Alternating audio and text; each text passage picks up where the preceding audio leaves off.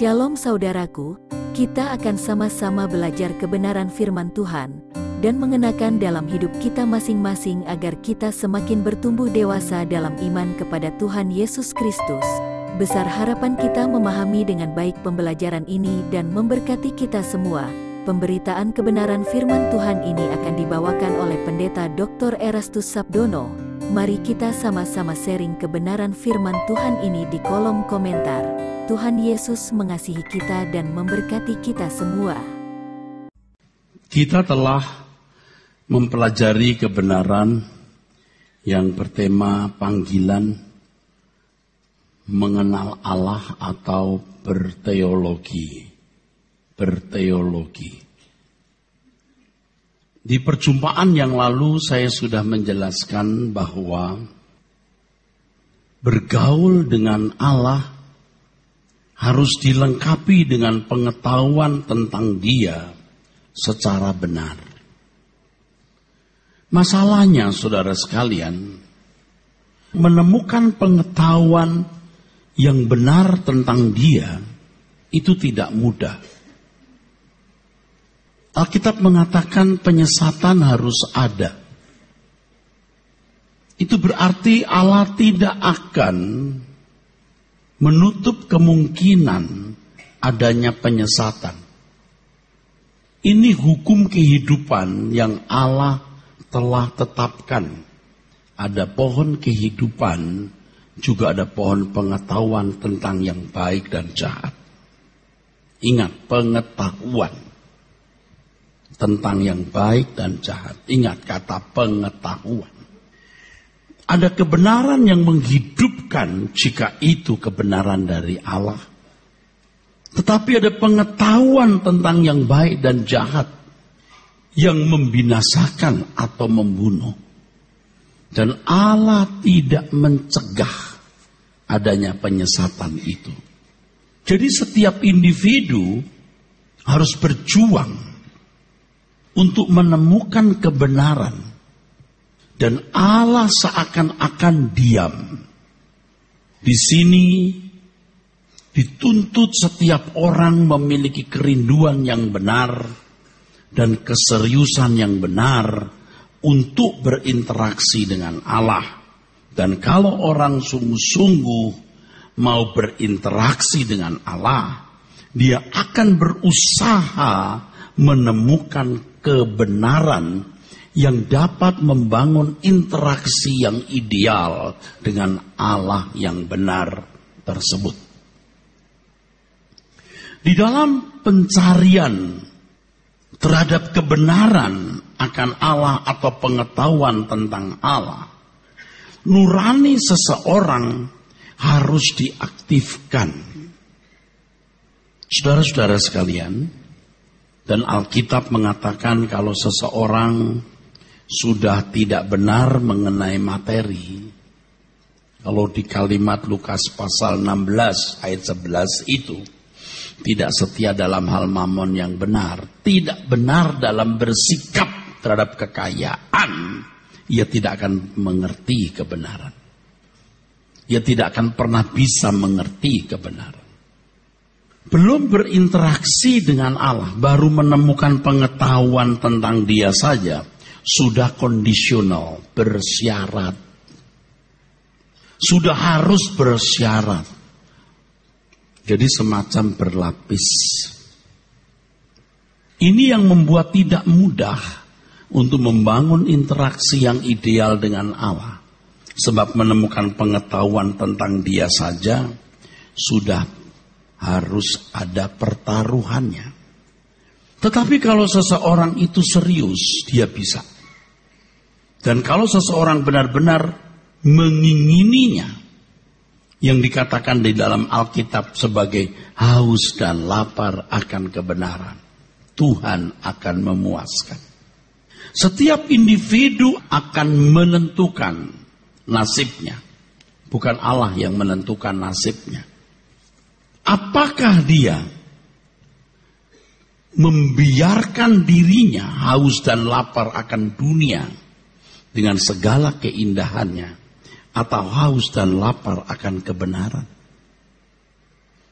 Apakah ia mau mengkonsumsi buah dari pohon kehidupan atau buah dari pengetahuan tentang yang baik dan jahat. Ini tergantung kehendak bebas atau free will seseorang. Secara sangat misteri kepada setiap orang karena sifatnya konfidensial. Setiap individu itu memiliki pergumulan yang sangat khusus. Maka saya katakan tadi sangat konfidensial, sangat pribadi.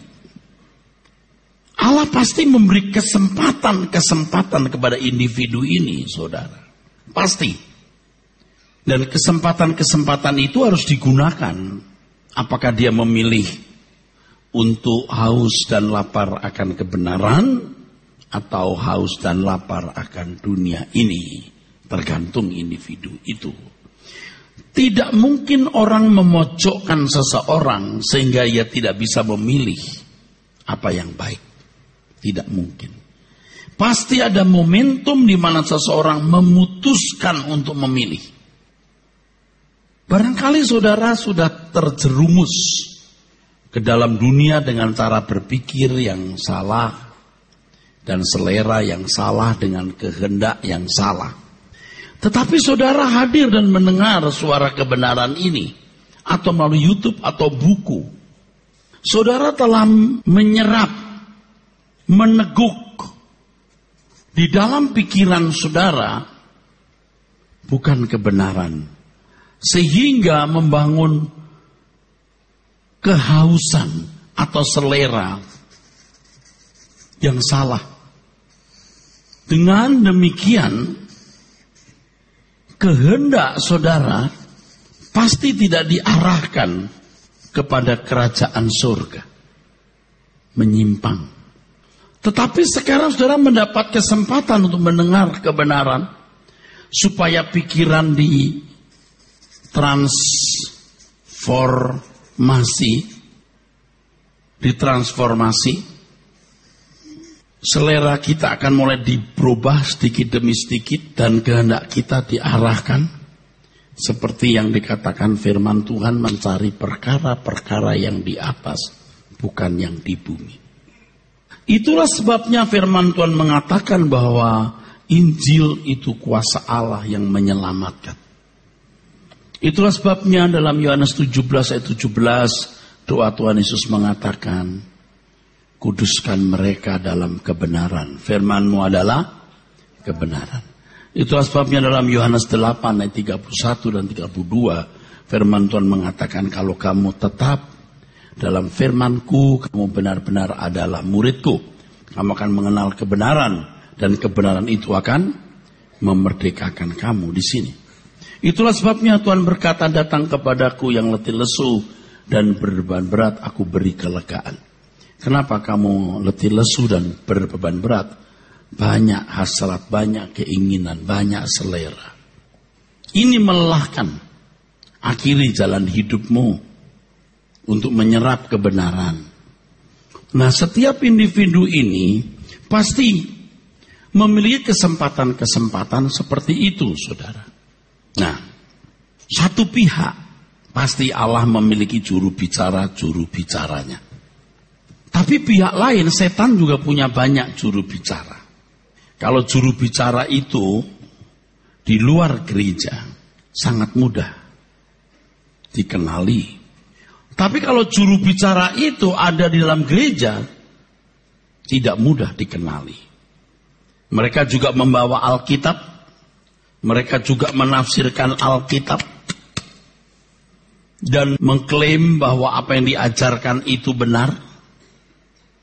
Nah, sekarang jemaat bisa dalam keadaan bingung. Siapa yang benar? Siapa yang sesat? Kalau setan hanya bisa melingkar di luar tembok Eden, maka itu tidak membahayakan. Ternyata ular bisa melingkar di pohon. Pengetahuan tentang yang baik dan jahat itu. Ini sama dengan bahwa Iblis juga bisa melingkar di mimbar-mimbar gereja. Tidak mengajarkan hal yang buruk secara etika umum. tidak mengajarkan hal yang melanggar moral, tetapi cukup membuat orang Kristen tidak menemukan kebenaran yang murni yang membawa kepada maksud keselamatan itu, saudara. Jadi yang diajarkan sebenarnya ateologi. Teologi itu ilmu tentang Tuhan, Tuhan yang benar. Ini kalau ateologi ya artinya ajaran yang tidak sesuai Allah yang benar.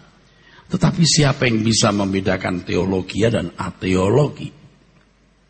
Bapak Ibu saudaraku, dari teropongan dan pemantauan saya saudara, terjadi kesalahan yang meluas atau masif dan sangat sistematis. Jadi kalau seorang katakanlah namanya A, lulus SMA, lalu masuk perguruan tinggi, lalu menjadi sarjana teologi, lalu berkhutbah di mimbar, dia membawa Alkitab. Bapak Ibu, saudara-saudara sekalian, Menurut Agustinus, bla bla bla bla. Memang secara eksposisi terus jemaat mendengar khutbah yang bersifat teori lebih bersifat teori sebab kehidupan apa yang dimiliki orang ini SMA lulus sekolah Alkitab jadi pendeta Tahu nggak dunia luar sana betapa ganasnya? Kalau ini berkembang terus, jemaat banyak jadi ketua wilayah. Dari ketua wilayah jadi ketua daerah. Dari ketua daerah jadi staf sinode. Dari staf sinode karirnya naik lagi jadi ketua sinode. Jemaat hanya mendengar teori-teori tentang Allah yang begono begini. Dan itu, saudara, menjadi fantasi teologi. Fantasi teologi. Fakta yang saya melihat orang makin berteologi, makin tidak berdoa. Ajaib itu. Tapi di lain pihak orang-orang mistik, makin mistik makin anti teologi. Artinya anti belajar Alkitab. Sebenarnya teologi itu kan bukan hanya dirumuskan di buku, ditafsir jadi kajian. Allah itu hidup yang harus dikenali. Dikenali. Ada interaksi secara ideal. Nah, masalahnya banyak pandangan-pandangan teologi yang dirumuskan oleh para teolog-teolog 500 tahun yang lalu, 1000 tahun yang lalu, 1500 tahun yang lalu, 1700, 1800 tahun yang lalu. Bukan salah, bisa efektif di zaman itu. Tapi dunia ini berubah, keadaan bisa serba berubah. Mestinya orang mengenali Allah itu Allah hari ini, bukan Allah sejarah. Seorang hamba Tuhan seorang pembicara, seorang pengajar, dia harus mengerti isi Alkitab tentu. Dia harus belajar dari berbagai dokumen-dokumen yang sudah ada, pandangan para teolog-teolog yang sudah ada. Tetapi juga tidak menutup kemungkinan adanya penemuan-penemuan baru. Dunia ilmu pengetahuan sekuler, saya memahaminya, pasti paralel dengan dunia rohani. Kebenaran itu selalu paralel. Kalau dunia kita hari ini berkembang begitu hebat dan orang bisa menemukan iptek ilmu pengetahuan dan teknologi begitu luar biasa dan di lain pihak kejahatan manusia juga luar biasa. Kebenaran Injil harus semakin murni yang mampu menarik, mengangkat manusia dari dunia yang semakin bejat dan jahat ini. Kalau orang hanya berteori, teori teologi dari pandangan para teolog-teolog masa lalu, saya bukan tidak menghargai pandangan mereka. Kita harus menjadikan itu bisa acuan, bahan pertimbangan, dan lain sebagainya. Tetapi dunia hari ini harus dihadapi dengan kebenaran hari ini yang tentu bersumber dari Alkitab. Kesalahan banyak teolog hari ini menganggap bahwa pandangan para teolog-teolog itu sudah sejajar dengan Alkitab. Di luar itu salah. Jadi kalau Bapak Ibu membaca apa kritik-kritik di medsos, mereka kan memandang bahwa kalau tidak pernah diajarkan, belum pernah ada, itu sesat. Seperti misalnya korpus delikti. Belum membaca, sudah berkata sesat. Tentu kalau sudah membaca buku itu baru tahu. Mereka berkata, iblis jelas memberontak salah. Apa kau tidak membaca Alkitab mengatakan, hukum Taurat yang membuat manusia itu berdosa. Kenapa? Mencuri jelas salah, membunuh jelas salah. Tapi kalau tidak ada hukum Taurat, maka tidak ada dosa. Sebab dosa tidak terverifikasi sebagai dosa. No, Alkitab berkata begitu. Bagaimana membuktikan iblis bersalah? Saya jelaskan itu tentang manusia yang harus sempurna. Ini loh, makhluk ciptaan mestinya begini. Ah, Adam gagal. Tuhan Yesuslah yang kemudian menggantikan manusia atau Adam yang gagal. Dan kita belajar bagaimana memiliki kesempurnaan seperti Yesus. Nah ini contoh saja. Teolog-teolog Eropa hebat. Buktinya hari ini Eropa jadi kafir. Seperti tidak mengenal Allah. Sampai tidak bisa diselamatkan lagi. Coba mau khotbah apa ke Eropa? Coba kita lihat. Kita tidak mau itu terulang di dunia dan masyarakat kita hari ini. Maka kita menggeliat. Ayo kita kembali kepada kehidupan Yesus waktu itu. Bukan hanya teori-teori, saudaraku. Bukan hanya kajian-kajian. Maka kita harus benar-benar berinteraksi dengan Allah secara konkret tentu dipandu oleh kebenaran firman. Kalau saya sering bicara 30 menit bertemu dengan Tuhan, 30 menit, satu jam, itu berarti sekali saudara. Sebab pada waktu-waktu seperti itulah Tuhan akan berbicara kepada kita. Karena Allah itu Allah yang hidup. Dia bukan Tuhan di dalam museum. Dia bukan Yesus dalam sejarah saja. Tapi Yesus yang hari ini hidup dan nyata. Lalu kalau sudah begini dia menjadi ketua sinode, ya, terus semua diatur, lalu sekolah Alkitab, ini membangun rezim. Saudara, menurut tafsiran si A si B, dibenarkan karena iman. Ya benar kita begitu. Lalu, ya sudah, Anda sudah selamat ya sudah selamat. Nggak buat apa-apa.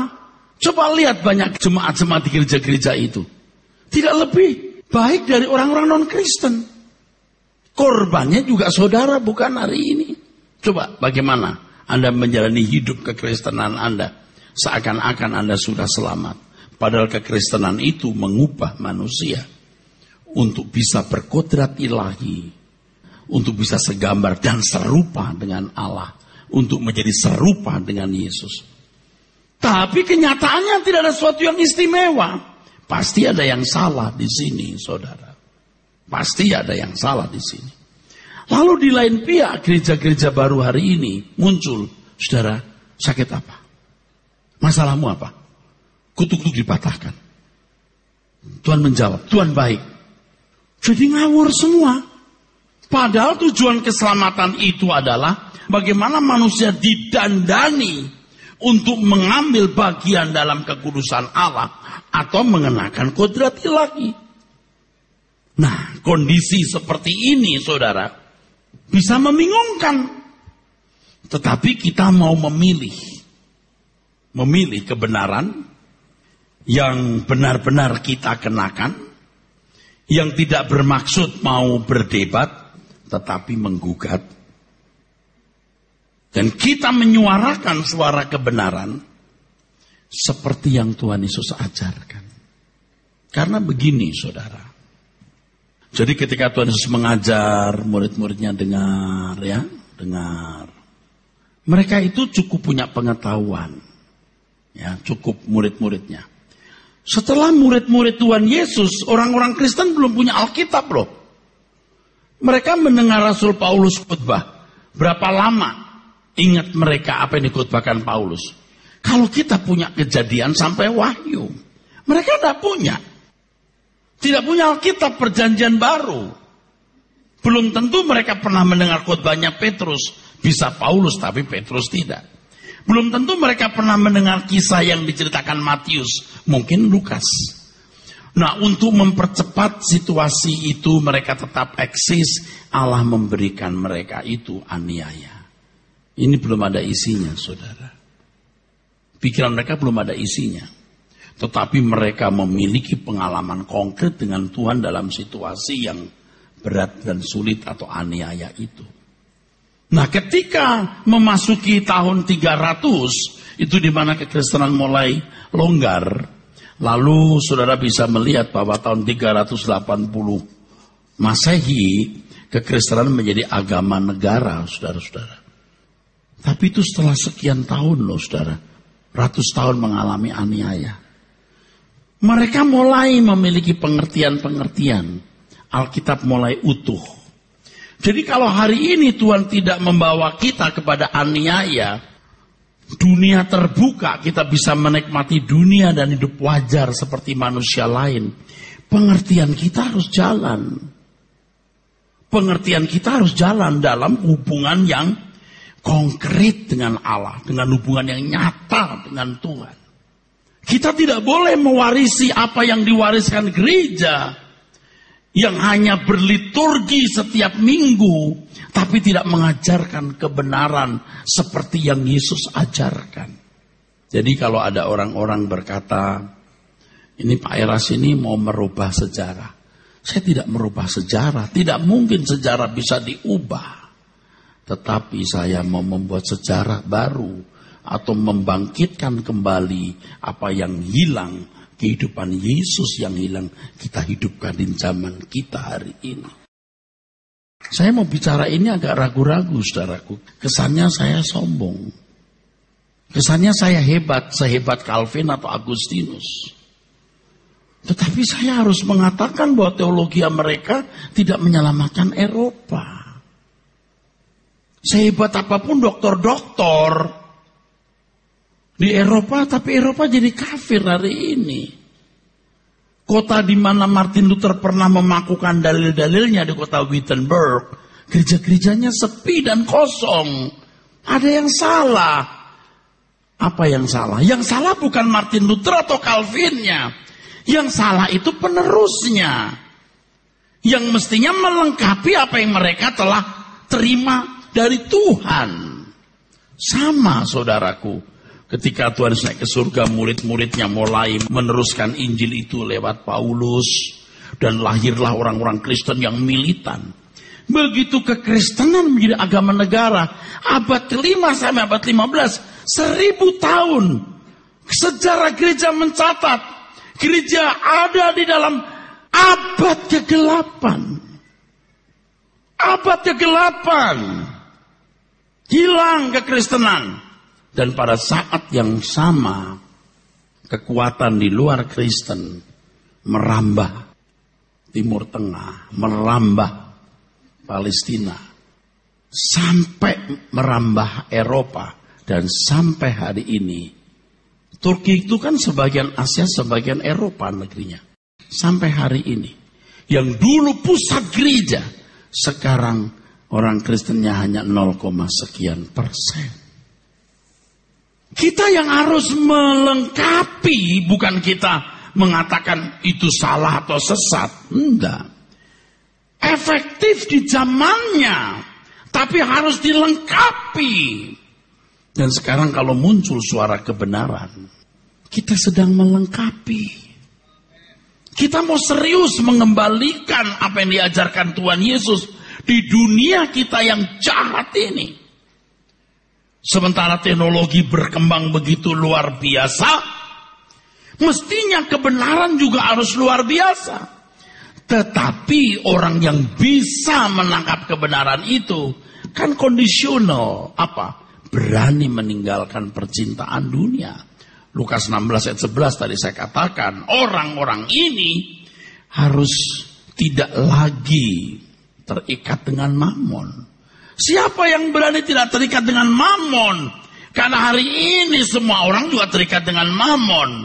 Dan orang-orang Kristen merasa sudah selamat, sudah jadi anak Allah, sementara hidup mereka wajar seperti kehidupan anak-anak dunia. Dan gerakan gereja akhir-akhir ini Seakan-akan Yesus menjadi komoditas, kontributor, penolong untuk masalah-masalah duniawi. Persis seperti orang-orang Yahudi pada zaman abad pertama memperlakukan Yesus mau dijadikan juru selamat versi mereka. Gereja-gereja memang jadi maju karena Yesus baik, yang sakit disembuhkan, ada pemulihan, berkat berlimpah-limpah. Itu salah. Yesus tidak datang memberi kelimpahan jasmani, tapi kelimpahan rohani. Ia tidak datang memberi kemakmuran jasmani, dia datang memberi penderitaan. Nah ini yang kita temukan saudaraku. Dan kita harus kembangkan. Jadi keberadaan mengenai Allah kita yang benar harus kita pahami lewat perjanjian lama. Benar. Lalu masuk perjanjian baru. Ya. Sedetil-detilnya benar. Tetapi kita harus memiliki hubungan langsung lewat doa. Lewat nurani yang bersih. Jadi bukan hanya saudara yang percaya selamat karena menurut Agustinus, kalau menurut si A, menurut si B, kita sudah ditentukan selamat. Jadi hmm, akhirnya jadi rezim ya saudara. Dari sinode sampai gereja. Kalau pengajaran itu salah di luar sana, gampang dikenali. Nah, kalau muncul di gereja, jemaat yang tulus, terperdaya. Jadi kadang-kadang saudara orang-orang di luar Kristen itu mendengar khotbah saya masih bisa terima. Tapi justru ada gereja-gereja orang-orang Kristen malah nggak bisa terima. Saya nggak ngerti nuraninya di mana. Apa salahku? Misalnya dipersoalkan Lucifer itu bukan malaikat kata Pak Eras. Ya memang dia angelic being tapi tidak pernah jadi messenger. Karena malaikat itu selalu utusan malachim. Itu jamak. Tapi Hilal bin Sakar tidak pernah jamak. Ketika dia menjadi iblis sudah terbuang. Yang namanya diabolos. Selalu tunggal diabolos. Bukan diaboloi. Nah tapi saya nggak bisa menjelaskan begitu kan saudara. Oke lah itu salah misalnya. Misalnya bahwa Lucifer itu memang malaikat. Oke lah. Lalu apa sih implikasinya untuk hidupmu? Kenapa sih diributin? Oke gak di surga gak ada perkawinan. Dan saya memang tidak pernah mengajarkan. Kita harapkan ada perkawinan. Kita nggak harap. Ada nggak ada nggak masalah. Lalu apa sih hubungan hidup kita hari ini? Allah itu bukan Tritunggal Pak Tritunggal. Saya juga nggak setuju. Saya itu percaya Tritunggal. Tapi seandainya oke okay lah duit tunggal, duit tunggal. Lalu apa sih hubungannya sama hidupmu? Tapi kalau saya bisa menjawab, apa jawabnya? Begini. Iblis itu bukan malaikat. Ya oknum keruk. Tapi kok anak Allah? Saya jelaskan dulu, you dengar saya ngomong. Yang namanya anak Allah jangankan Lucifer malaikat aja anak Allah. Semua roh itu berasal dari Allah Bapa, putra tunggalnya. Ini pangeran, raja, lalu Lucifer, keruk, lalu malaikat-malaikat, lalu manusia.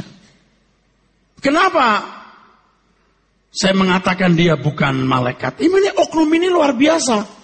Untuk itu, ketika dia jatuh harus dibuktikan salahnya, manusialah yang dipercayai.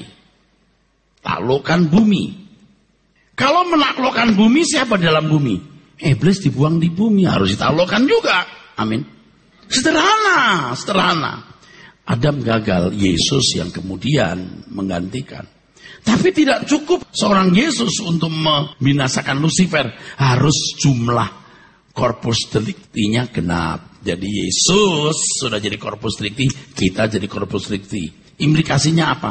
Kamu tidak bisa tidak harus jadi korpus delikti. Tidak bisa tidak, kamu harus sempurna seperti Yesus. Jelas gak? Ada arahnya. Kalau cuma iblis itu begono begini, nggak ada implikasinya. Cuman di sini itu pun tidak ada tuntutan. Tapi kalau you di sini, you must be perfect. Lalu semua pengajar harus bisa berkata, ikuti teladanku. Bukan menurut ini, menurut ini, menurut ini saja. Tapi kamu harus lihat hidupku dan ikuti teladanku. Semua saudara. Jadi saudaraku sekalian, belajar mengenal Allah atau teologi itu menggunakan pikiran, logika. Tapi juga menggunakan perasaan. Jangan berkata, jangan pakai otak. Loh, kasihlah Tuhan alamu dengan segenap nos, pikiran. Bagaimana mengasihi Allah dengan pikiran? Isi dengan Injil. Akal budi, perasaan. Di sini Bagaimana bisa? Temui dia, alami dia, supaya engkau mencintai dia. Saudaraku sekalian, menarik sekali, Tuhan Yesus pernah menghardik Petrus dengan pernyataan nyahlah iblis. Dan itu menjadi pelajaran yang sangat berharga, saudaraku. Di Matius 16, nyahlah iblis engkau suatu batu sandungan bagiku ya.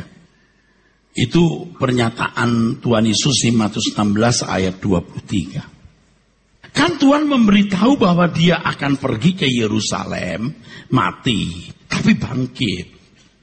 Petrus tuh nggak lihat bangkitnya dia lihat matinya. Ini skenario nya beda dengan kami. Engkau ini hero kami, pahlawan kami. Jangan kiranya Allah menjauhkan hal itu. Dia pakai kata Allah loh saudara. Hah? Pakai kata Allah loh. Dia menarik Yesus ke samping dan menegur. Coba. Guru mesti negur murid. Ini murid negur guru. Kurang ajar nggak?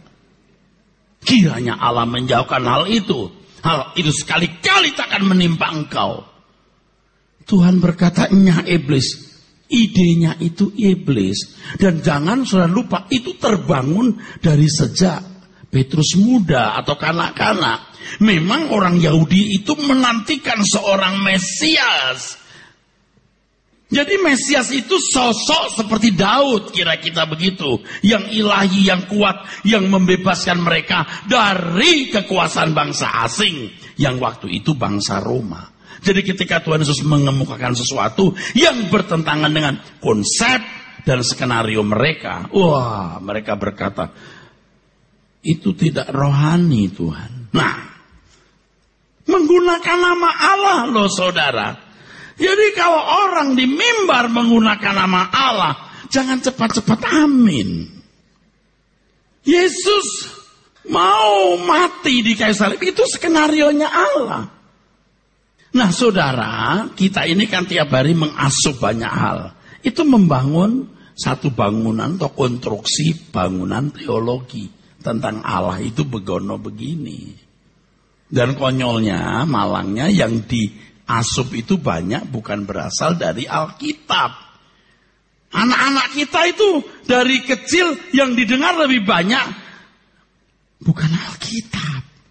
Bagaimana jadinya saudaraku? Ini yang menyedihkan hati kita. Penyesatan yang masif dan sistematis itu. Tapi kalau kita ngomong, ini pendeta menghakimi gitu kan. Ngerti nggak saudara? Semua serba teori. Nah orang ke gereja merasa sudah selamat, sudah masuk surga yakin. Tapi di sini Anda diajar jangan membiasakan diri merasakan yang kau yakini, tetapi biasakan dirimu merasakan apa yang kau alami. Tuhan itu hidup alami. Kan begitu. Kalau sekarang jujur, sekian banyak saudara ini, berapa banyak yang pernah mengalami Tuhan? Yakinlah Tuhan ada. Seberapa keyakinanmu? Ya yakin ada. Seberapa keyakinanmu? Pengen tahu untuk membuktikan seberapa keyakinanmu? Kesucian hidupmu. Kesucian hidupmu. Kalau engkau tidak hidup benar, bersih, engkau tidak menerima ada tuan rumah di jagat raya ini. Menghayati Allah yang hadir. Itu bertuhan. Mata Tuhan melihat. Jadi ketika kita punya kesempatan melakukan apa yang menyenangkan kita, tapi itu tidak berkenan di depan Allah. Kalau kita menghayati kehadiran Allah, kita berkata tidak. Kalau kita melihat keindahan dunia, kita memandang surga dan berkata, aku memilih langit baru, bumi baru. Itu kita meyakini Allah hidup dan menyediakan langit baru, bumi baru. Jadi Pikiran kita itu setan yang tidak mudah diusir. Kalau orang kerasukan setan begini, diusir dalam nama Yesus, kadang-kadang tidak lebih dari satu jam, tidak lebih. Memang ada yang lama. Tapi kalau sudah masuk ke sini, itu bulan-bulanan, bisa tahunan membersihkannya. Sudah masuk di sini, masuk pikiran, jadi selera jiwa, Selera jiwa. Kalau punya barang ini maknyus, bahagia, dihormati orang itu senang. Jadi selera jiwa. Karena telah mengasup yang salah. Bicara soal langit baru, bumi baru. Ah dongeng ah, nonsen. Udah gak sanggup dia terima. Padahal Yesus yang berkata, aku pergi menyediakan tempat bagimu. Dan kalau aku sudah pergi, aku kembali menjemput kamu. Kok bisa loh itu janji hilang?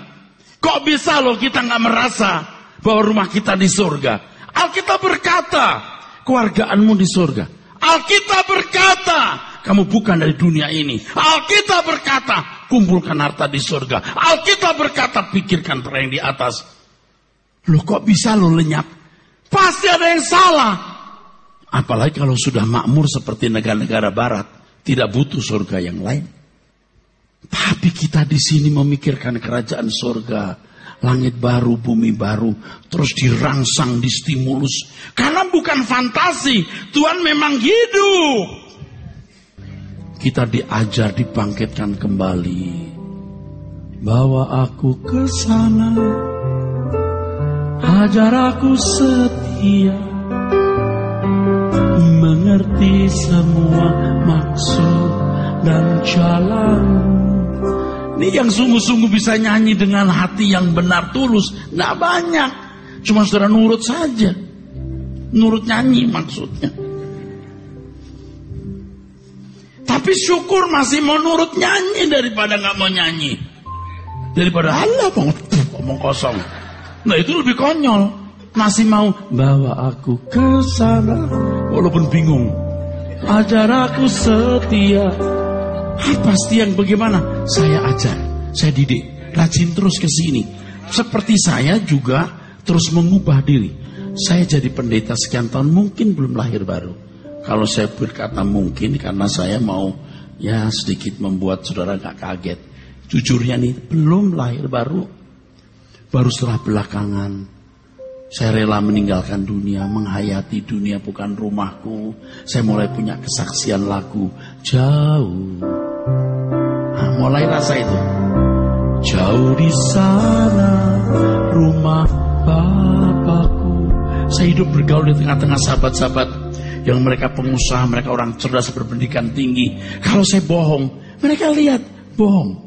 Beda dengan yang dikutbahkan. Mereka bisa tahu, sangat mungkin dengan mengatakan ini pertaruhan saya berat. Tapi memang saya sudah mau gila. Gila itu bukan gila ngawur. Tidak sama dengan dunia ini. Aku pilih pulang ke surga. Gila di mata manusia, waras di mata Allah. Saudara jangan hanya mendengar khotbah. Alami khotbah itu kalau tidak ada pindah gereja dan menemukan orang yang berkhotbah yang khotbahnya bisa dialami. Bukan kajian, bukan teori, tapi kebenaran yang bisa dihidupi dalam hidupmu. Saya sudah nggak mau bujuk-bujuk saudara. You mau di sini? Kita ini manusia akan mati. Ayo sekarang bertaruh. Saya memilih Tuhan. Bukan separuh milikku, segenap hidupku. Dan saya memberi contoh kepada sebuah orang yang dekat saya, yang bergaul dengan saya tiap hari. Yang pergi keluar kota, keluar negeri, berobat, cek bareng. Saya buktikan, aku memilih Tuhan Yesus. Dan saya mengajak saudara memilih ini. Pertanyaannya, ruginya apa? Susahnya apa sudah nurut kebenaran ini? Menyesatkan apanya yang sesat? You dengar tiap minggu apa yang salah? Kalau sudah berubah, orang pertama yang merasakan perubahan itu istri. Kalau saya boleh tanya, tanya istriku, berubah tidak suaminya? Tanya. Tanya anak-anakku, berubah enggak saya? Tanya yang bersama saya 20 tahun lebih, berubah enggak khotbah saya? Kasarnya, halusnya, bagaimana? Kita kan mau berubah, saudara. Nggak mau konyol, saudaraku. Kalau suara orang di luar sana udah nggak usah diperhitungkan, nggak usah dirasa-rasa, nggak usah. Kita ngurusi diri sendiri capek karena ngurusin orang, betul nggak? Kita ngurusi diri sendiri ini monsternya belum mati total. Kadang-kadang jadi zombie begini. Udah mati hidup lagi.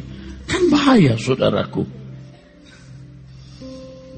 Jadi pengetahuan tentang Allah tidak boleh hanya tertulis dalam buku dikutbahkan dan menjadi pengetahuan secara kognitif. Harus dialami. Misalnya kalau seorang dokter hewan, spesialis monyet. Dia harus belajar tentang monyet. Dalam buku tebal namanya monyetologi ya. Wah dia pinter monyet itu begini, begini jenisnya begitu begitu begitu. Kalau ngadepin monyet itu begini, ngadepin simpanse begini, gorila begini. Bagaimana bisa masalah-masalah monyet itu begini. Tapi hanya buku. Nggak pernah ketemu monyet. Yang dia temui anjing dan kucing. Lucu nggak? Lucu. Kita bicara mengenai Allah. Apa yang kita alami tentang Allah? Tapi ini kan saya pengalaman nih. Pengalaman di sekolah teologi. Di pusat gereja. Saya ada di situ. Ini banyak teolog-teolog gini. Aku tahu. Aku pinter. Aku dokter. Kasih tahu nggak ya? Dia ada rasa pinter dengan disertasi nilai A+. Dengan tesis-tesisnya yang mendapat pujian. Waktu saudara anu-anu dengan predikat pujian. Tepuk tangan. Terus gini, terus gitu. Bukan nggak boleh harus belajar, tapi harus mengalami Tuhan. Nah sekarang Bapak Ibu, Mengalami Tuhan nggak? Saudara mengalami Tuhan nggak? Seberapa saudara nekat mau mengalami Tuhan? Saya tuh mendorong saudara, mengencourage saudara. Kenali, temui Tuhan. Dunia kita itu sudah rusak. Bukan hanya dunia yang rusak. Gereja-gereja pun juga rusak. Bukan satu dua sinode yang berebut menjadi ketua umum, betul nggak? Nah ini kan fakta. Nah kalau sudah sampai begini lalu gimana? Apa yang diajarkan? Betul. Sementara ada gereja-gereja yang ngomongnya berkat terus, perpuluhan terus. Iya, nggak ngerti saya. Ayo, buah sulung. Gaji pertama bulan Januari diberi. Itu buah sulung. Kalau tanya saya buah sulung itu apa, saya jelasin karena saya sekolah. Orang Yahudi itu kalau panen, hasil panen itu diambil satu keranjang. Yang terbaik. Bukan seluruhnya. Makan apa dia? Yang satu keranjang inilah yang dipersembahkan. Bukan seluruh gaji diberikan. Tapi kalau saya ngomong begini orang bilang tuh Pak menentang buah sulung. Ya tapi kan aku kasih tahu you belum belajar. Maka beta kasih tahu. Sebenarnya kalau saudara punya nurani, saudara bisa tahu kok. Ini ajaran kayaknya duit melulu ini nggak beres. Ini kayaknya nggak beres deh. Jadi situasi seperti ini bikin orang bodoh. Amin. Bodoh. Harus jelas. Teologi harus jelas. Dan kalau Allah itu hidup harus jelas, harus dialami. Saudara mau belajar nggak? Belajar firman terus. CD khotbah di YouTube terus dipelajari.